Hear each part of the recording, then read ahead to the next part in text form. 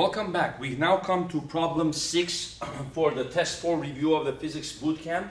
Problem six says, what is the magnitude and direction of the electric field at the point 30 meters? Uh, and it gives you the scenario. There's a charge of 2 times 10 to the minus 4 coulombs at 0, 0 meters. So at the origin, 0, 0, there's a charge of positive 2 times 10 to the minus 4 coulombs. So this Q here. So that's uh, at the origin. And at the charge of negative 4 times 10 to the minus 4 at 5, 0. So way over here, 5, 0 meters. There is a negative charge here, negative Q. And its charge is negative 4 times 10 to the minus 4 coulombs.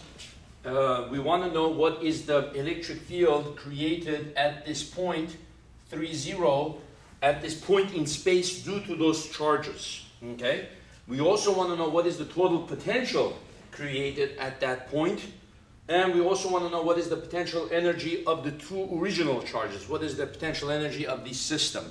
So this problem illustrates different kinds of questions that can be asked about a two-charge system.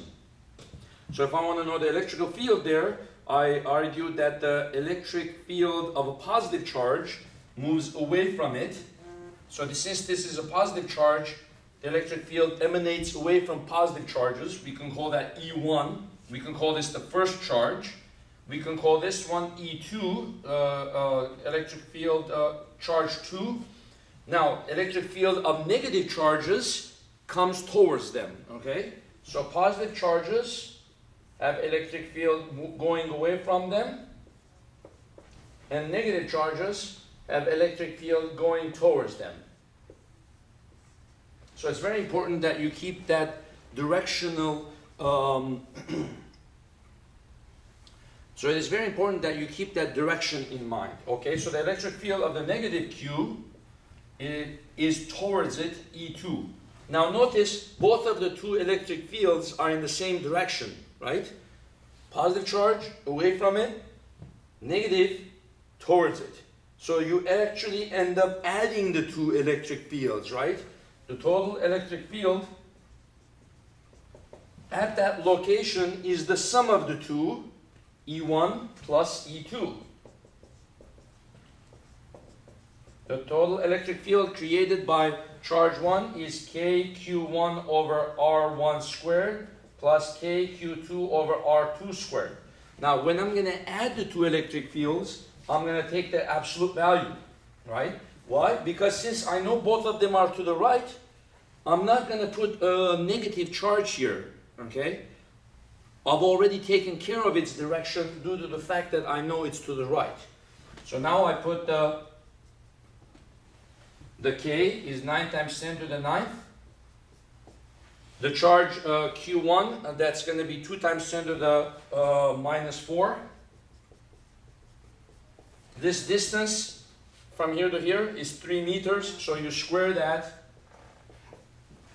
And then you add to that the k of uh, the, uh, the Coulomb's law, 9 times 10 to the 9th. And then Q2 is the charge of that. Again, put its absolute value. 4 times 10 to the minus 4 divided by its distance. The distance from there to there is 2 meters, 2 squared. And then what do you get there? Your total electrical field is going to be what? Well, 10 to the 9th, 10 to the minus 4 is 10 to the 5th. And then I have here 9 cancels 9. So you have 2 times 10 to the 5th. Plus, then what happens here? This 4 cancels this 4. And then you just end up getting 9 times 10 to the 5th.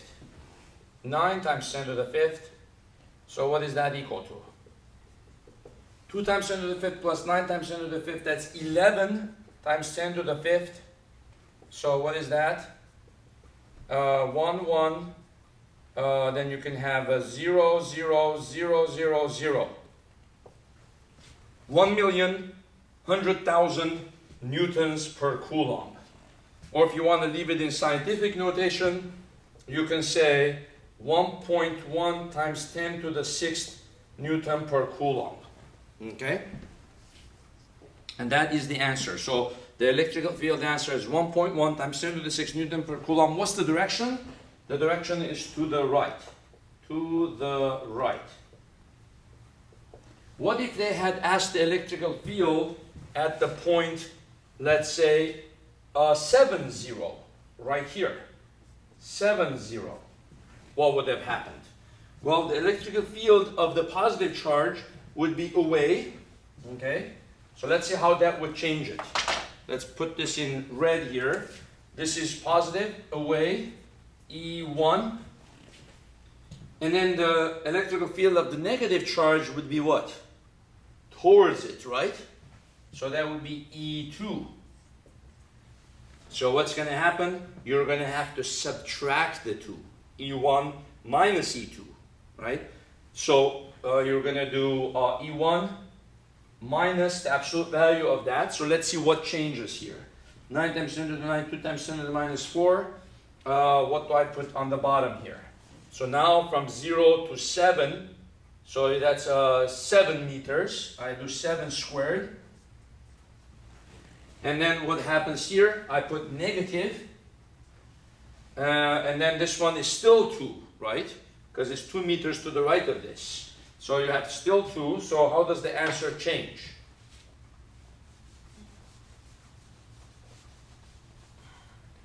So the only answer that changes is the left one. You have 9 times 2 is 18. 18 over 49. You have 18 over 49 times 10 to the fifth. Minus, so you got minus, and then that one stays 9, um, 9 times 10 to the fifth. So what's the total electric field? Well, what's going to end up happening is 18 over 49, 18 divided by 49, that gives you only 0.36. And then you subtract from that 9, you get negative 8.63. So if I just uh, factor out the 10 to the fifth, 18 over 49 minus 9, it gives you negative 8.63 times 10 to the fifth Newton per Coulomb. Okay? Whereas the answer to the middle was to the right, the electrical field in the middle was really strong. It was 11 times 10 to the fifth. Uh, on the right, they kind of cancel each other. Which one wins? The, the left one wins because the right one is very weak. And uh, they kind of uh, by canceling each other, the electric field ends up being weaker. Now you can see how you have to take care of those directions, whether it be over here, whether it be over here, whether it be on this side, and you can try different kind of variations of that problem. Now, how would you answer the next one? What is the total potential at that point? Now, with potential, you don't have to worry about direction, you just have to worry about magnitude because the potential is a scalar, okay? So how do you do the potential?